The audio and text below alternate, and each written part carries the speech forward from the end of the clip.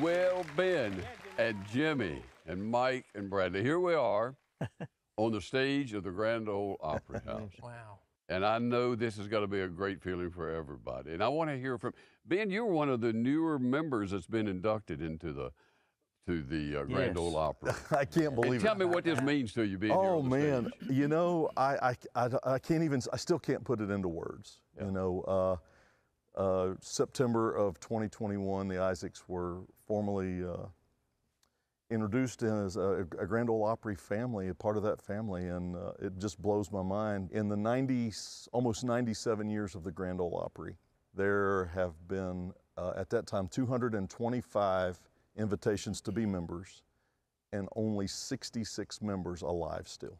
Wow. Well, you're in great company, and they are, I know they're honored to have you. And all of y'all played the Opry. Oh, yes. And you got to admit, when you come out here and hit the stage, it's a different feeling, isn't it? Every is. time. I mean, you come out here Yeah. and Just well, you look at this circle. Right. Right here, Mhm. this circle is from the old Ryman. Right. And you look at that and you think, well, there's Stan Roy Acuff. Yeah. Yeah. There's Hank Williams. There's Maybelle. You can lose yourself in all That's that. That's right. Absolutely. Love is a burning thing, and it makes a fiery ring. Bound by wild desire,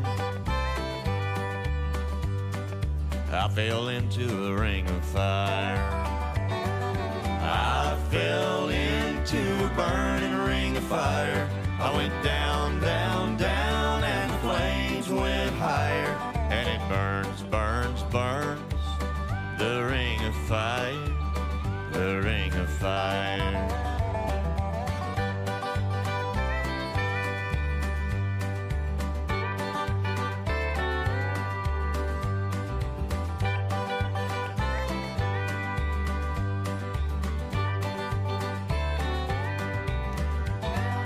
I fell into a burning ring of fire. I went down, down, down, and the flames went higher. And it burns, burns, burns. The ring of fire, the ring of fire. The taste of love is sweet. When hearts like ours meet. I fell for you like a child. Oh, the fire went wild. I fell into a burning ring of fire. I went down, down, down, and the flames went higher. And it burns, burns, burns. The ring of fire, the ring of fire.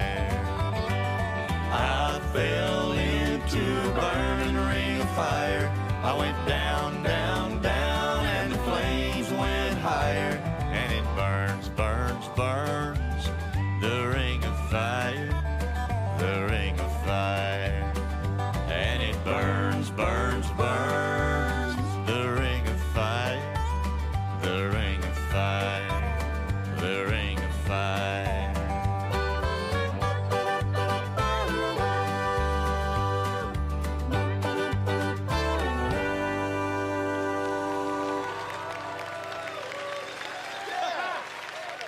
Oh, that's fun. Thank y'all. I have to say, you know, when whenever the we the Statler brothers retired, you know, we retired, and and and and I was gonna. You all asked me what what I was gonna do, and when I said, well, I, I felt like I didn't know how to do anything else. Y'all, you need to go. I'm, I need to go do my own thing. And I remember I was I said I was scared, and you said, well, just be you. Don't be anybody else but you. And I thought, because at first, at first I thought, well, what should I put together a group? And, and then I thought, I ain't never gonna get a group to Mm. top this, Mm. never in a million years. Well, And but as time has gone on, uh, and and I found these guys, I feel like I've come home again to to something that felt I feel so, too. that felt so good to me, Yeah. you know, uh, because uh, when you're in a group, um, I don't say it's it's it's like a marriage, you know, in a way, because you become one, and you're not out there by yourself, and you lift each other up, and you sing with each other, and it kind of picks. It's a magical thing to It be is. in a group. Yeah. If my brother Harold were here, he would absolutely love you, and he would say, "And they've got two tenor singers," because he loved tenor singers. And to think they had two, it would just have blown his mind. I know it would have. It's knowing that your door is always open and your path is free to walk. That makes me tend to leave my sleeping bag rolled up and stashed behind your couch. And it's knowing I'm not shackled by forgotten words and bonds and the ink stains that have dried upon some lines. That keeps you in the back roads by the rivers of my memory. That keeps you ever gentle on my mind. It's not clinging to the rocks and ivies planted on their columns now that bind me. Or something that somebody said because they thought we fit together walking. It's just knowing that the world will not be cursing or forgiving when I walk along some railroad track and find that you're moving on the back roads by the rivers of my memory. And for hours you're just gentle on my mind.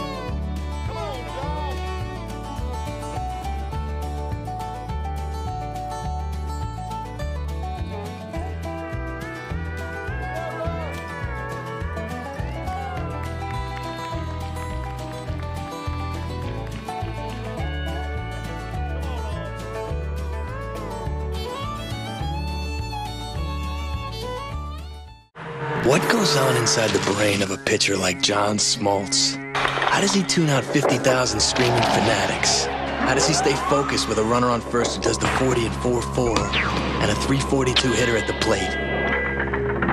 You see, all Smoltz thinks about is this imaginary tunnel with a two-inch leather target at the end. And there's only one sound that can break his concentration. Strike three! A message from Major League Baseball.